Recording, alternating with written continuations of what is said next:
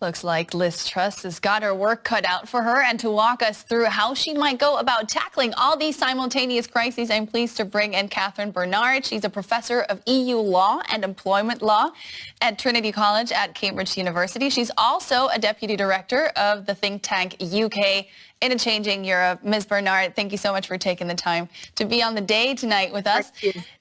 Liz Truss is often compared to Margaret Thatcher. She personally says she doesn't like that comparison and that she's very much her own person. So what kind of a prime minister is she going to be?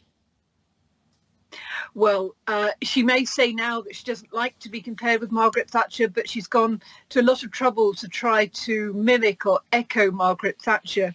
And it's been very odd throughout the entire contest to have two um, pretenders for the Prime Minister's throne.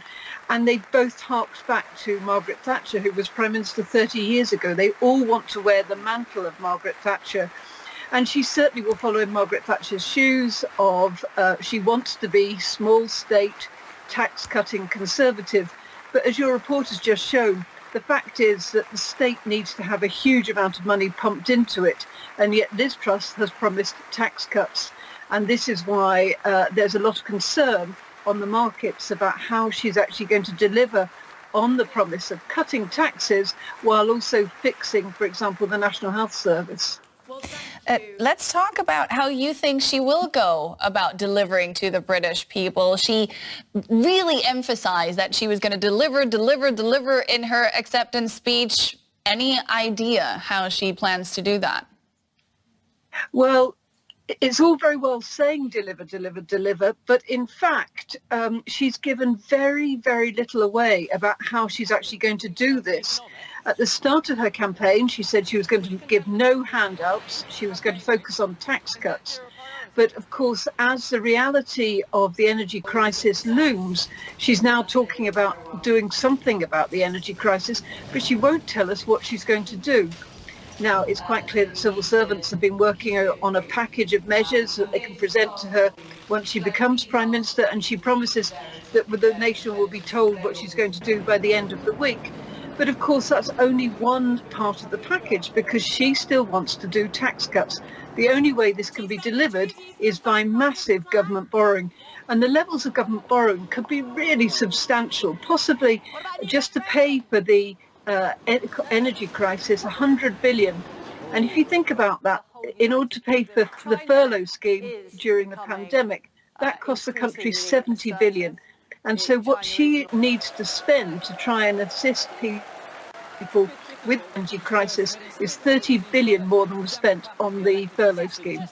How does the British public feel about her? Because she was voted into the post by some 80,000 members of her own party. How does the general public feel about her and her fairly vague approach to all these crises? Yeah, the general public is not that warm about her. They think she is somewhat out of touch, uh, and they really don't have much confidence in her ability to deliver. Indeed, looking at the figures, 12% of Britons think she'll be a great or good prime minister, but 52% um, of Britons um, in a YouGov survey thought she would be terrible or at least poor. And so there's not a lot of faith in her. And the very fact that she is um, seen as the heir to Boris Johnson, uh, good thing for party members, who, uh, many of whom think Boris Johnson should never have resigned in the first place, but not so good for the country because the country clearly is rather suspicious of Boris Johnson and his behaviour while he was in office. Something people are suspicious about as well is whether or not she will have what it takes to implement Brexit. She voted for Remain in 2016. So what kind of challenges await her there, you think? So many, but first and foremost um, is uh, what to do about Northern Ireland. If you remember, the Northern Ireland Protocol was agreed between Boris Johnson and uh, the EU. And the effect of the Northern Ireland Protocol was to have a border down the Irish Sea, essentially separating Northern Ireland from the rest of Great Britain. And the Conservatives are now saying this is totally unacceptable. Liz Truss is um, being a front runner to say this is totally unacceptable. And she has been pushing the so-called Northern Ireland Protocol bill through Parliament It's gone through the Commons, the lower house, and it's due to go to the Lords, the upper house, um, at the end of October. And this bill essentially rips up the Northern Ireland Protocol, uh, which uh, is an international treaty uh, which was agreed with the EU in good faith two years ago. And so she is putting the country on a collision course with the EU because the EU cannot uh, accept that the UK unilaterally breaks its commitments under an international treaty with the EU.